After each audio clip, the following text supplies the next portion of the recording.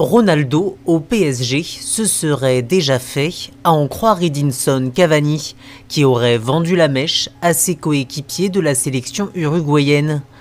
Espérons que Cristiano nous fasse gagner, aurait-il lâché, selon les informations de Premium Sport, plutôt mince, pour dire que ce serait déjà signé, mais cette petite phrase relance les rumeurs, qui veulent qu'un an après avoir payé plus de 200 millions pour s'offrir Neymar, le PSG soit prêt à débourser 300 millions d'euros pour acheter Cristiano Ronaldo au Real Madrid, comme l'explique la Gazeta dello Sport,